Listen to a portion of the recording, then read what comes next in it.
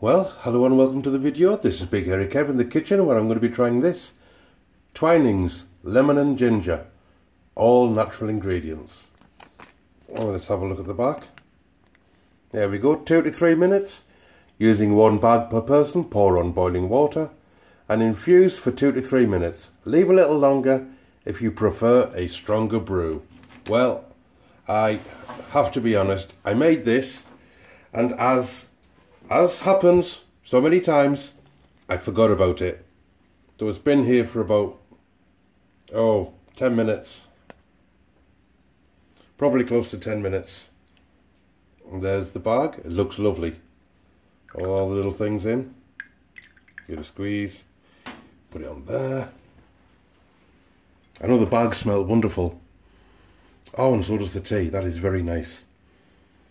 It's, it's very lemony. When I was smelling the tea bag before, it was just pure lemon.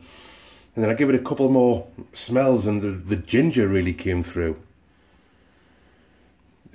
Yeah, smelling the lemon more than anything else, but there is ginger in there. And it looks like an ordinary lemon tea. Mmm. Oh, oh, yeah. When you drink it, it's lemon tea, but you have that you know what ginger does to your mouth? It sort of off, it sets off little fireworks and sort of ping, ping, ping all through your mouth. Little sort of little bursts of ginger. That's what that's doing.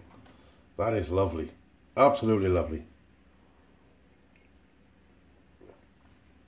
Oh, I'm going to be getting more of that. Definitely more of that.